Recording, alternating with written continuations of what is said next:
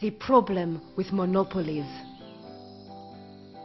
At the moment, uh-huh. if you invent a new drug, oh. you get a 20-year patent. That's the exclusive right to make it free from competition for two decades. If only one company makes a specific medicine, they don't have to compete with anyone for customers. And so they can charge whatever price they like. The prices charged for newly patented HIV medicines are very high, often over $5,000 per person per year. And most people in developing countries can't afford them. This means that people will die because they can't get the HIV drugs they need.